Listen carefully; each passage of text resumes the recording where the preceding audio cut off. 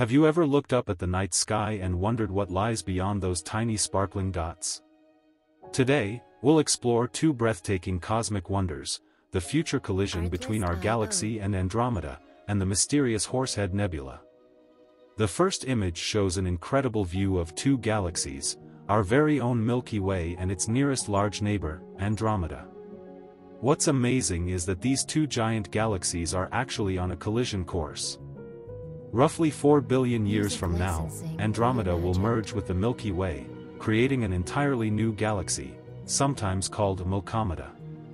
Now, don't worry, while the word collision sounds terrifying, galaxies are made mostly of empty space. The stars inside them are so far apart that the odds of two stars crashing into each other are almost zero.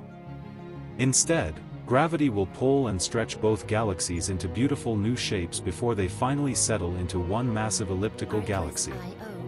It's like watching a cosmic slow dance that takes billions of years to complete. The second image reveals one of the most iconic sights in the universe, the Horsehead Nebula. Located in the constellation Orion, about 1,500 light-years away, this nebula is a cold, dark cloud of gas and dust that blocks the light of the glowing stars behind it. Its unique shape, resembling the head of a horse, has made it one of the most photographed nebulae in astronomy. Inside this dark cloud, new stars are being born. Radiation from nearby massive stars sculpts and illuminates the edges, creating glowing highlights that outline the majestic horse-like silhouette. What we're looking at is not just a pretty shape, it's a stellar nursery, a place where future suns and solar systems are forming. From galaxies on a cosmic collision course to the birth of stars inside a nebula, the universe is constantly changing and evolving.